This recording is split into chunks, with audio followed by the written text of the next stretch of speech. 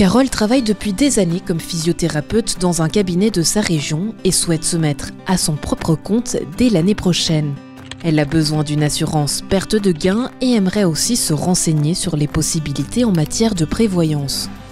Carole apprend que le groupe mutuel propose des assurances attractives en matière d'assurance vie individuelle avec des couvertures d'essai, invalidité et de l'épargne retraite. Pour compléter sa perte de gain et sa prévoyance, l'indépendant peut également conclure une assurance accident facultative afin de se prémunir contre les accidents professionnels et privés.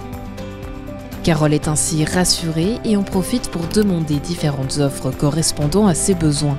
Elle obtient en plus quelques renseignements sur les possibilités de retirer son capital de prévoyance deuxième pilier pour lancer sa propre entreprise.